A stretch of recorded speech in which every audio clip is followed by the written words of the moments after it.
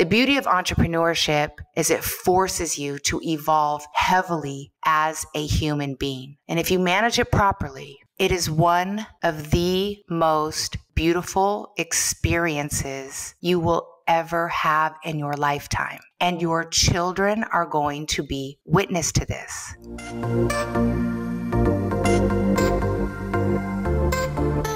In today's episode, we are going to talk about the five main challenges that single parent entrepreneur slash business owners face. Let's start off with number one own your single parent status. Now, in today's society, though single parents aren't looked down upon, perhaps the way they were in the past, the truth is generally when you are in fact a single parent, it's because there were irreconcilable differences. And many times things are still very fresh and things are still being reconciled, whether it be personally or in the courts. It's a tough road to navigate through. Co parenting is no easy task. And of course, there's that financial component. So, whereas the waters of entrepreneurship are incredibly scary and treacherous when you do have a support system, i.e., your family, well, imagine how difficult that is when you newly no longer have that support system. And even worse, if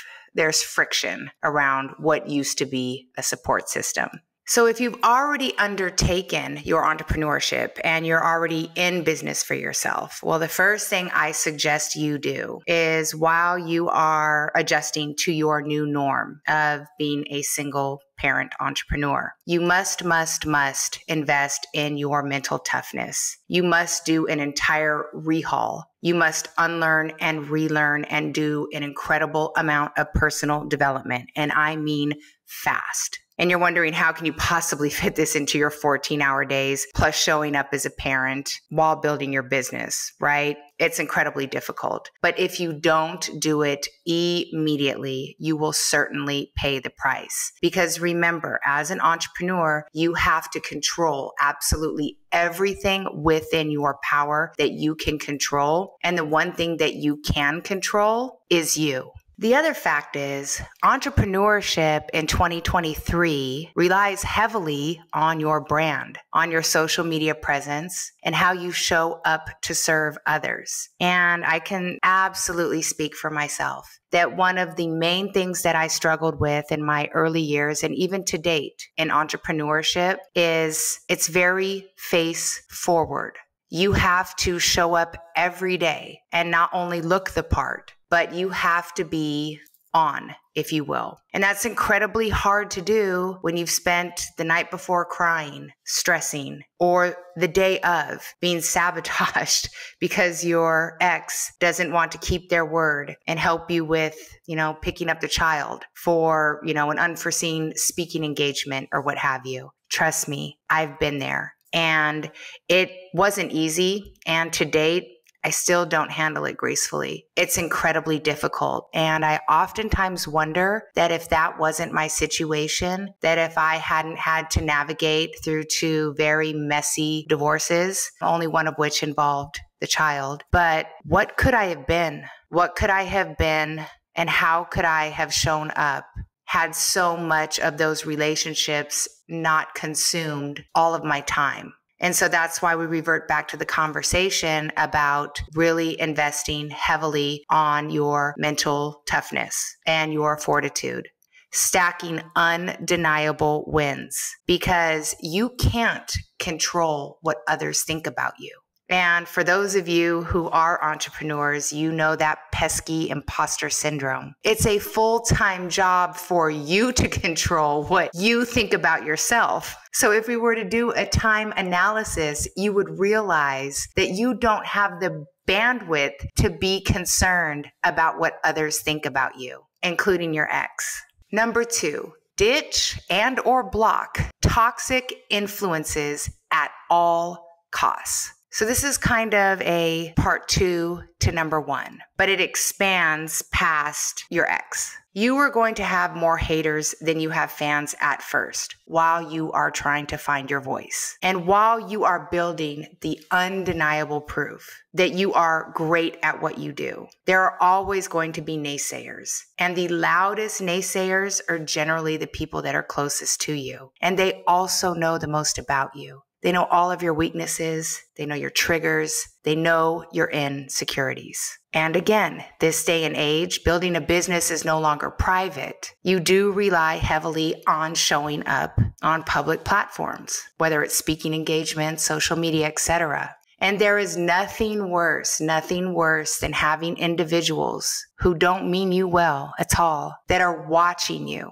that are critiquing you, that are talking about you, that are sliding in your comments, that are sliding in your DMs, telling you that you're a fake or a fraud, or if you are in fact still really at odds with your ex, getting threats on how they're going to ruin you, on how they're going to ruin your reputation, on how they're going to destroy anything you build. I mean, obviously that's an extreme, but I've personally lived through extremes and I've also seen others live through it too. And it's not easy again because individuals who decide to dedicate their lives to entrepreneurship they already wake up every day and get kicked in the face by life within the framework of their business. So then, after the fact, to have no safe place to go, no support network, no place to be greeted and reassured, it's incredibly difficult. Number three, a big one, include your kids in the business. Obviously, harder than it sounds, especially if they're super young, but start to plant the seeds as to the why to the why of the business, why mommy or daddy operates differently than your traditional W 2 employee, why your schedule differs, why your level of focus differs, why you engage in so much personal and professional development, why it seems as if you never have a day off. And on your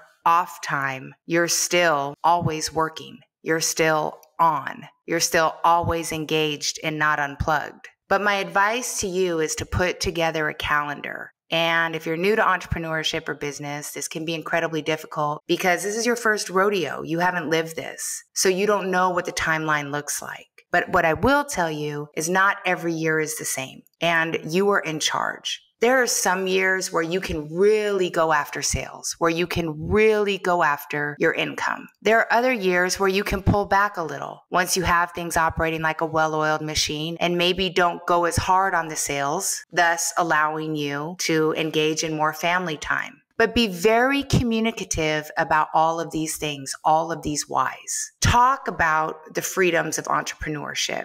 Yes, you do end up working more than your average W 2 employee, two or three times more. And yes, it is incredibly taxing on your mental. Again, circling back to how you have to build yourself into an incredibly strong and resilient person. But once you get over that first initial hump and you start to actually make money and you start to be more confident in what you're doing, possibilities and opportunities open up. So be mindful when that happens and circle back and explain to your kids, look, look, this is proof. We did this and now look at the outcome. And with this outcome, with this blessing that we were able to do as a team, let's get together and decide how we are going to either treat ourselves or set ourselves up for success by making positive decisions for additional growth for maybe another cycle, another round. Having these conversations and showing your children the cause and effects, being able to solve complex problems and coming out on the other side successfully is going to give them so much more than the ordinary lessons that you would be sharing with them living a traditional life as a W 2 employee. But remember, you have to structure this. You have to create the narrative and you have to ensure that there are results and undeniable proof that your logic was correct. So, number four, diving a little deeper into the seasons of entrepreneurship. I did speak about creating a calendar, a projection of what your business growth looks like and your milestones. But there is actually a step that you need to do for you personally before you create that business calendar framework for the future. And it's sitting down and making a list of your beliefs, of your beliefs around family and your beliefs around your children, what you believe at your core. Whether they're good or bad, you must write it down. Because when you do part two, to do the logistics, if you will, I want you to be able to tie it back into your core beliefs and emotions. Because remember, as an entrepreneur, you're driving this boat. This business, this experience can look like anything you want it to, but you must be intentional. You must be intentional to the behind the scenes why. And yes, not everything is going to go the way you think. And even if you do have your list of core beliefs of what you want to ensure takes place within your family unit or you showing up as a parent, because at the end of the day, that is priority but it can be interworked with the business strategy. But you must take the initiative to do so and tie it in early and then circle back often to see if your logic was true or false, if you're getting the outcome that you desire. And then, of course, as you continue to grow, your beliefs around so many things are going to change. What you believe now is not what you're going to believe in one year. It's not going to be what you believe in three years. The beauty of entrepreneurship is it forces you to evolve heavily as a human being. And if you manage it properly, it is one of the most beautiful experiences you will ever have in your lifetime. And your children are going to be witness to this. So it is imperative that you treat it like the gem, that you treat it like the true blessing that it is. For me, entrepreneurship, it gave me the most incredible opportunities. Nothing special about me, but I got to learn so many valuable skills. I had a vessel that allowed me to do incredible things for myself, for my family, for my mother, for my sister, for hundreds and hundreds of people that I've worked with, for the families of my significant others, exes even, things that I could have never accomplished as a traditional worker at, the county. It's fact. So if this is something that you're embarking on, I want you to hold on tight to it. Don't let anybody take it from you. Don't let anybody destroy it. And again, it's incredibly difficult when you have people clawing at you, especially people that you've had children with or have been married to. It's incredibly difficult, almost impossible. This I know for sure because I've lived it, even as of recent. And I sit back and I watch these amazing women entrepreneurs Boss Lee, Codie Sanchez, Leila Hormozi, these beautiful, brilliant women who I know are busting their asses 14, 18 hours a day, year over year over year over year, working on themselves tirelessly. And I wonder, gosh, could that have been me? If I wouldn't have made the choices in my personal life that ended up combusting, could that have been me? Could I have had that momentum? Could I have had that impact? Could I have been able to build that undeniable proof, that, that belief in myself? I sit for hours admiring and watching them. They are my real life role models today. And so that's why I, I decided to record this podcast because regardless of what age you are, who you decide to marry, who you decide to have children with is going to be the most important decision of your life. And we enter into these relationships so freely, right? Not assessing any of the risk, not thinking about the exit strategy, not thinking about the day that nobody's in love anymore and there's a lot of anger and bitterness. And oftentimes it happens because one of the people in the relationship decides to grow and decides to start to live their dream. And the other party wasn't prepared for that. And then things to start to unravel. And then, of course, you get to the finale, but the finale is never the finale, especially when you have children children. And that co parenting is a long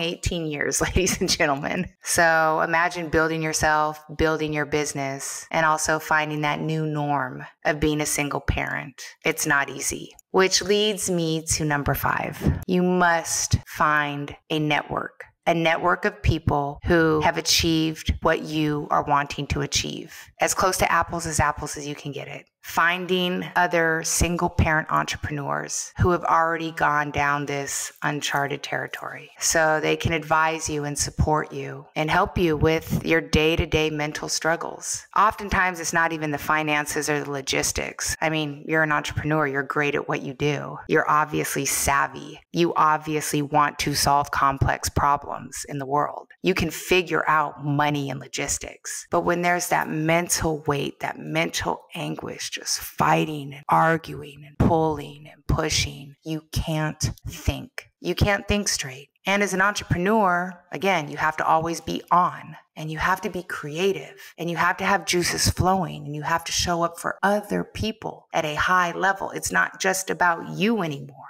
And how do you do that when you have all of this drama taking place to the left on a regular basis, year over year over year over year, and it doesn't seem to go away? Well, I made it this far. I've been in entrepreneurship over 20 years and I've experienced all of what I've explained. Thankfully, I didn't throw in the towel, but could I have done better? What was the opportunity cost? I wish I had the resources of podcasts. I wish I had the teachings of Andy Frisella. I could have been a different animal. And so that's one of the reasons why I show up for you to let you know that there are resources out there and don't give up. Don't give up on yourself. Don't give up on your dreams. But remember, you have to build yourself into something that is undeniable. And that is not easy, but it's 100% worth it.